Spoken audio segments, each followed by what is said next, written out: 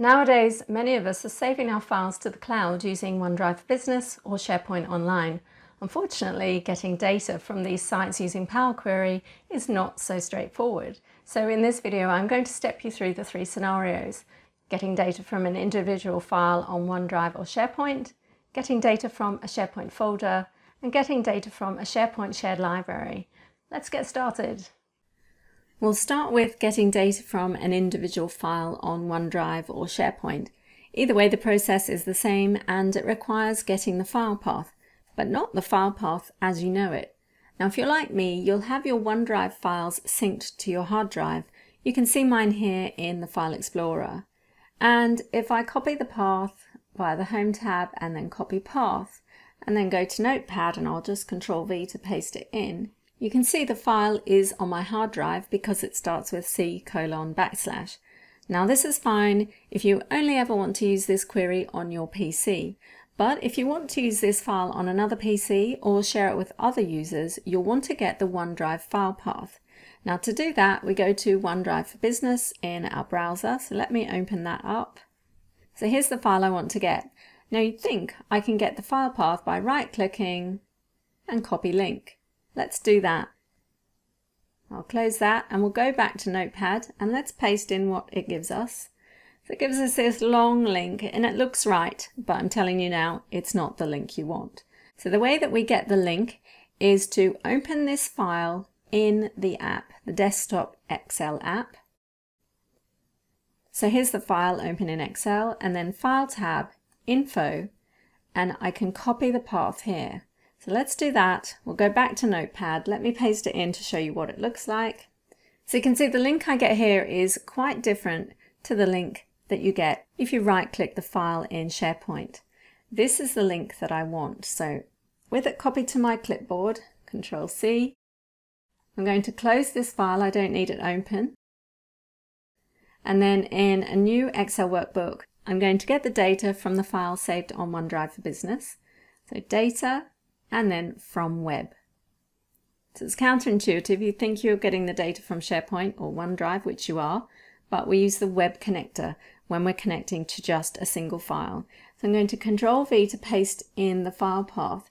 Now the bit at the end, question mark web equals one, I need to delete that. If you leave that in, you'll get an error. I'll click OK. Now it's asking me how I want to log in. And here I need to choose my organizational account and it's asking what level to apply the settings to. You can choose the root of the directory or you can choose a branch higher up. I'm going to leave it at that level for now. It says I'm not signed in, so I need to click sign in, choose my account, enter my password, and then sign in and click connect. And here's the file. There's only one sheet in it. You can see the data there, all looks good. So I'm just going to go transform data because I only want to save this as a connection. And there you have the data. If we look at the source, you can see it's used Excel workbook web.contents to get the data. And then when I've clicked transform, it's added these steps to give me my final data set. So you can see it's fairly easy to connect to a single file on OneDrive for Business or SharePoint you just need to make sure you get that file path by opening the file in Excel for the desktop and then you use get data from web. Let's close and load that. We'll just close and load it to a connection. And we'll look at getting data from a SharePoint folder. So I'm going to use this folder here. You can see there are three workbooks in the folder. Now to connect to this folder, I can copy the first part of the file path from up here I need everything up to layouts. So I can just select it, Control C to copy.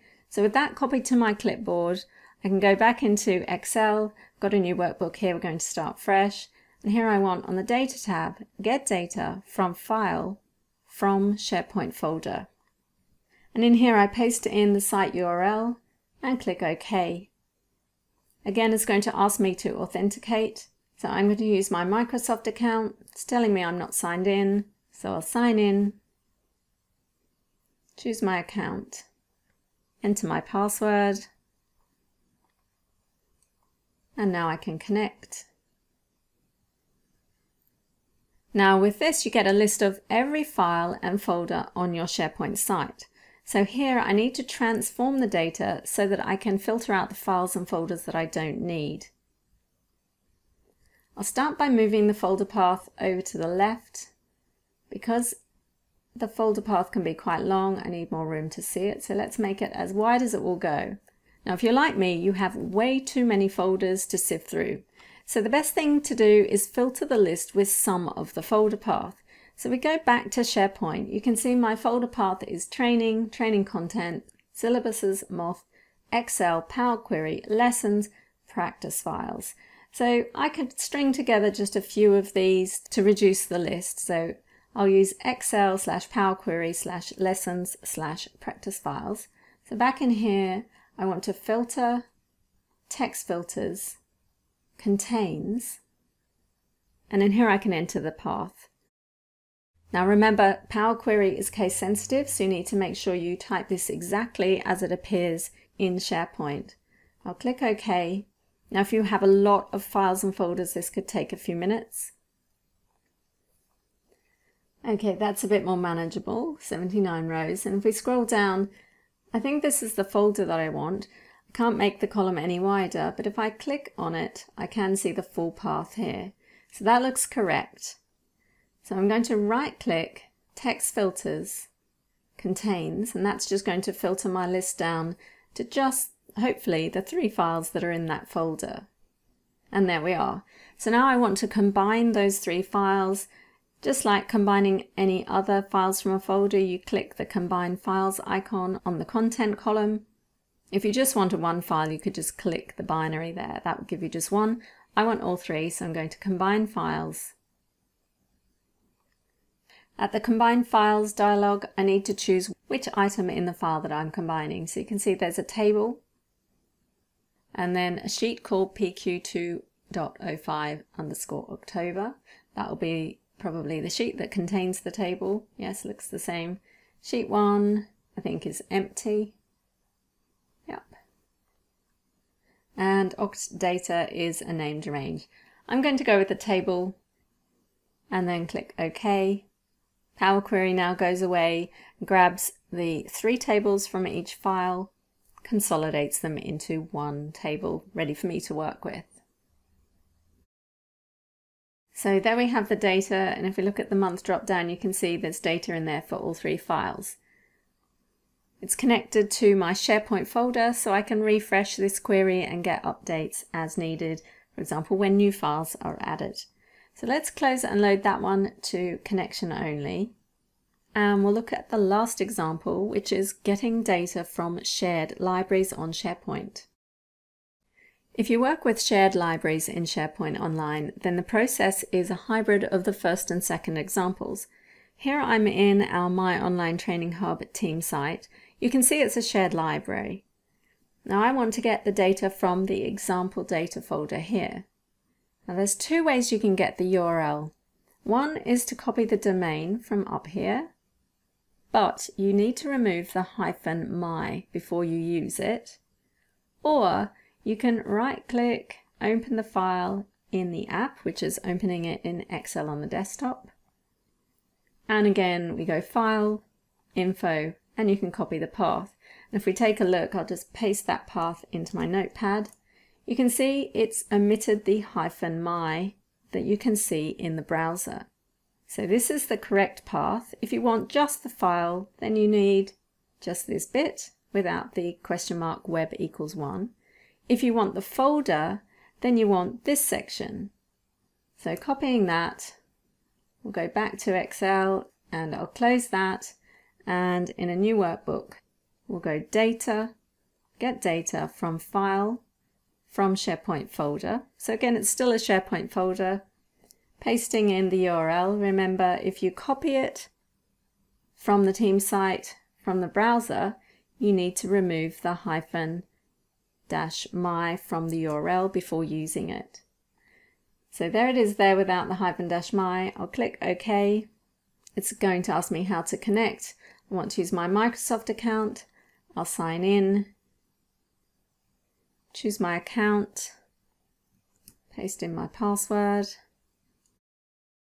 and connect. I don't have many files and folders in this site, it's just a demo site. Let's transform the data so I can filter out what I don't need. We'll move the folder path across so we can see it. Make it a bit wider. So there's my folder that I want. If I just want the one file, I can click on binary and drill down. So let's take a look at that. So here's a list of the items in that file. I've got a sheet called PQ underscore 2.05 November. I've got a sheet called sheet 1 and I've got a table called table 1. If you click in the white space beside the table, you get a preview at the bottom of what's contained in that sheet. So you can see the tables there, this sheet is empty, and this is also a table. Notice this table correctly displays the headers as headers, whereas this one, when we look at the sheet, has the headers underneath. So I want this table.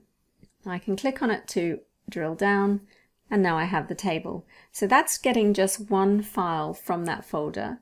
But if we want to delete these steps, we can go back and if I want all of the files in the folder, again, I can filter just to keep that folder and then I can click on the double down arrow to combine all of the files in the folder. Works the same as the second example. We get a preview, looks correct, click OK. And there's my data. If we check, we've got three files worth, three different months. So there you have the three ways to get data saved on OneDrive for Business or SharePoint. Just note that this won't work with OneDrive personal accounts. Now, if you want to share your files with other users, you just need to make sure they have permission to access the file, folder, or shared library. So back in OneDrive or SharePoint, you can do that by going to the file, right-clicking, and share. Or if you want to share the folder, then you do that at the folder level, right-click, share. And in here you can choose who can access the file, so you can name them specifically. So for example, I can share my folder with Phil, and that's going to allow him to open the Excel file that contains the query and refresh that query. Now when Phil opens the file, he's going to need to set his logon credentials.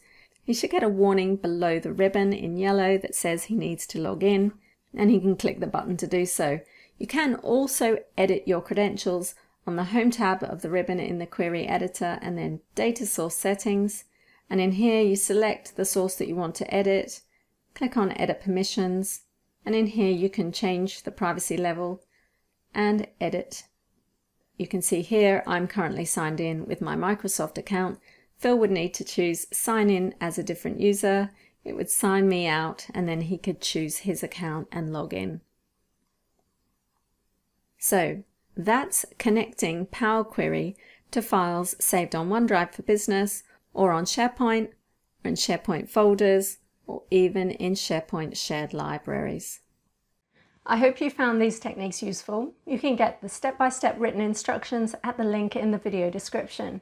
Now I need to give a big thanks to fellow Microsoft MVP, Wyn Hopkins, who demystified connecting to SharePoint. If you like this video, please give it the thumbs up and subscribe to my channel for more. And why not share it with your friends who might also find it useful. Thanks for watching.